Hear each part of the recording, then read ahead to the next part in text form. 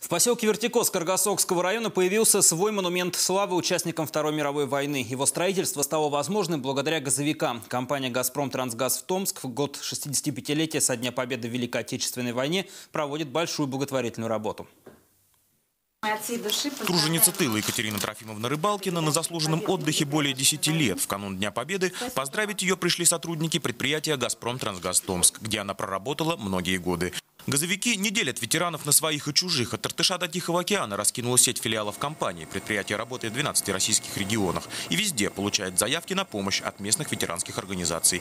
Ни единая просьба не осталась без ответа, подчеркивают в компании. Более двух миллионов рублей выделило предприятие, чтобы поддержать ветеранов в годовщину Великой Победы.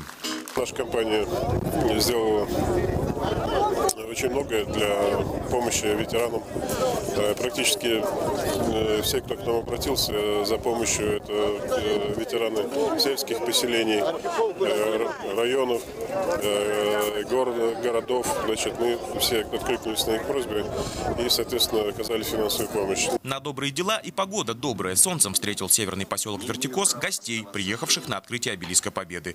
Так исторически сложилось. Только спустя 65 лет после окончания войны здесь появился памятный монумент. Поэтому неудивительно, что все селяне от мала до велика собрались на высоком берегу Аби. Инициативу вертикосцев о создании памятника поддержала компания «Газпром Трансгаз Томск». И благодаря стараниям Трансгаза Виталий Анатольевич нас очень хорошо поддержал, когда ему рассказали, что это тут единственный поселок. Сразу загорелась работа, и я очень благодарен, когда они поддержали вот нашу идею.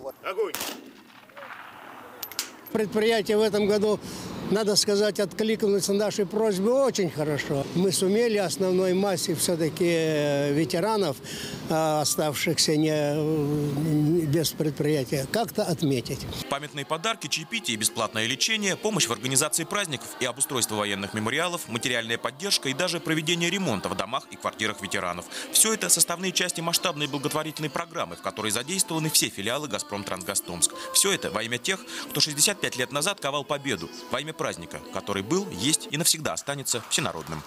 Илья Петров, Татьяна Купцова, Евгений Щербаков. Специально для Вести Томск.